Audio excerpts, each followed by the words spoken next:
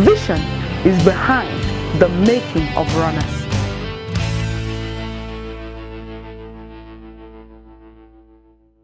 Praise the Lord. You're welcome to Friday, the 20th of December, 2019.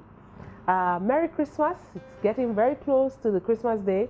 And of course, for us in Dunamis, um, biggest emphasis is a crossover night. Our topic today on the Seeds of Destiny is Your Victory is Sure. The Bible says, The Lord is with me, He is my helper. I will look in triumph on my enemies. Psalm 118, verse 7, that is in the NIV. Thought for the day. Who surrounds you determines what you can survive or surmount. Who covers you determines what you can conquer. And who backs you determines what you can sack. Victory is the state of having won or a competition or a battle or succeeded in an effort. It is the act of being triumphant over the enemy or the challenges of life. People don't fight to lose. People fight in order to be victorious. The success of every game or competition is the reason for such a game or competition. From our anchor scripture, above, it is critical to note that God with a man equals victory over the enemy. That's in Psalm 118 and verse 7. When an antelope has the backing of a lion, it can confront an elephant without fear. In the same manner, when you have the backing of God, you can humiliate any devil and conquer any confrontation of life. Understand this that who surrounds you determines what you can surmount. Who covers you determines what you can conquer. And who backs you determines what you can sack.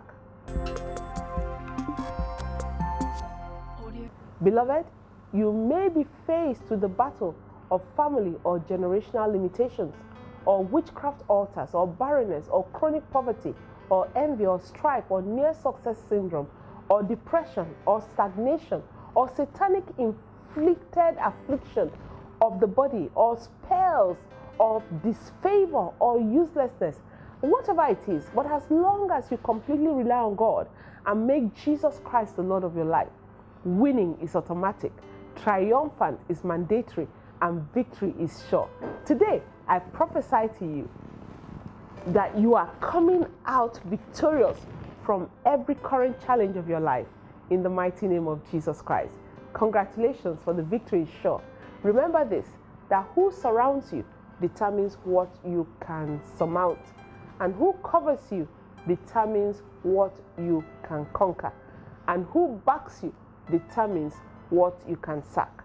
Praise the Lord. What's our assignment today? First and foremost, determine to maintain a buoyant relationship with God. Number two, let Jesus Christ be your Lord and the Lord of all your life so that He can have the space to fight for you.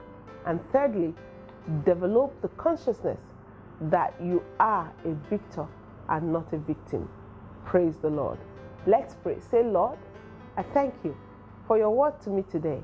I make demands on your grace to maintain a solid relationship with you.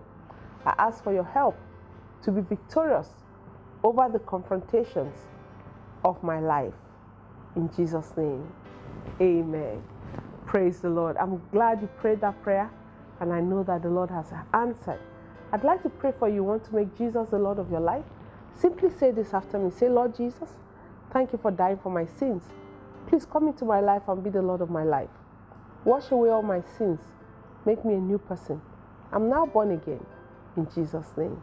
Amen. Praise God. Hallelujah. I pray for you today.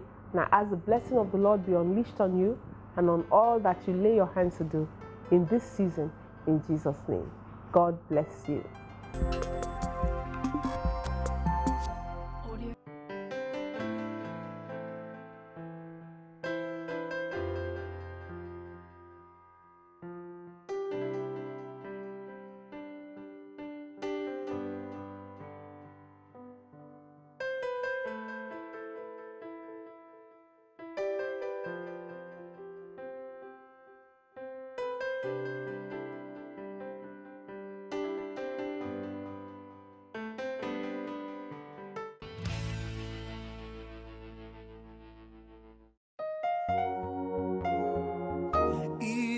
is a place of revival.